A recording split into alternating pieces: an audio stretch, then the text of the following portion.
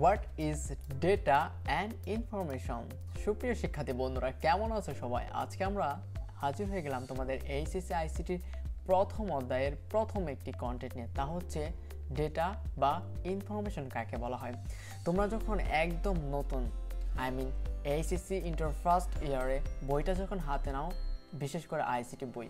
এর প্রথম অধ্যায়ের প্রথম কন্টেন্টগুলো এরকম থাকে যে ডেটা বা ইনফরমেশন কাকে বলা হয়। এ নিয়ে কনফিউশন হওয়ার কোনোই ভয় নেই। আমাদের টুয়েলভ টিউটাল আছে তোমাদের সাথে।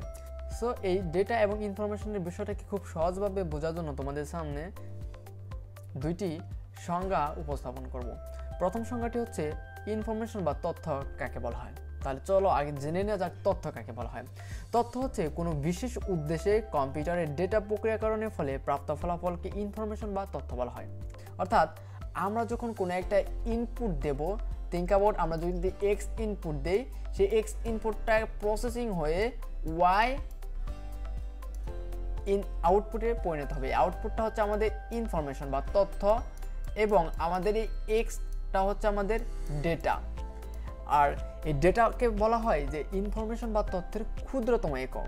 এখন যদি আমরা ডেটার সংজ্ঞাটা যাই, তাহলে এরকম হবে যে সুনির্দিষ্ট আউটপুট বা ফলাফলের জন্য, এই যে সুনির্দিষ্ট আউটপুট এটা হচ্ছে আমাদের সুনির্দিষ্ট আউটপুট বা তথ্য। সেই সুনির্দিষ্ট আউটপুট বা ফলাফল পাওয়ার জন্য প্রসেসিংয়ে ব্যবহৃত কাঁচামাল সমূহকে ডেটা বা উপাত্ত বলা হয়। এই প্রসেসিংয়ে ব্যবহৃত কাঁচামাল কাঁচা বা ডেটাকে কাঁচামাল বা ডেটাকে আমাদের ডেটা বলা হয়। এখন এই প্রসেসিং অর্থাৎ আমরা যখন কোনো একটা ইনপুট দেবো, তখন সেটা প্রসেসিং হয়ে আমাদের আউটপুট হবে। এখন এই যে আউটপুট হচ্ছে বা তথ্য আমরা পাচ্ছি, সেই তথ্যটা কিন্তু একটা প্রসেসিং হচ্ছে এবং এটা কোন কোন বিষয়গুলো নিয়ে প্রসেসিং হচ্ছে? এই যে কাঁচামাল কাঁচামাল মানে হচ্ছে যে কোন কোন বিষয়ের উপর ভিত্তি করে আমরা একটা আউটপুট বা ইনফরমেশন পাচ্ছি, সেই বিষয়গুলোকে ডেটা বলা হয়।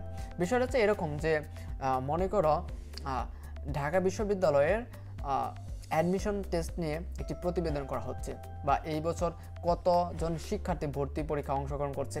এই বিষয়গুলো নিয়ে একটা প্রতিবেদন করা হচ্ছে টেলিভিশনে। তখন এই যে একটা প্রতিবেদন করা হচ্ছে, এটা একটা ইনফরমেশন বা খবর। বা তথ্য। কি সম্পর্কে? ঢাকা বিশ্ববিদ্যালয়ের এই বছরের শিক্ষার্থীদের ভর্তি পরীক্ষা সম্পর্কে। এই যে ঢাকা বিশ্ববিদ্যালয়ের শিক্ষার্থীদের ভর্তি পরীক্ষা সংক্রান্ত বিভিন্ন কিন্তু বিষয়গুলো এই প্রতিবেদনে তুলে ধরা হয়। সমগ্র প্রতিবেদনটা কিন্তু একটা কি? ইনফরমেশন বা খবর বা তথ্য। এই ইনফরমেশন বা খবরের মানে তৈরি করার জন্য বেশ কিছু ডেটার কিন্তু প্রয়োজন হচ্ছে। যে কতজন শিক্ষার্থী সেখানে ভর্তি পরীক্ষা অংশগ্রহণ করতেছে কতগুলো সিট রয়েছে, এবারে ভর্তি পরীক্ষার নিয়মকানুনগুলো কী কী?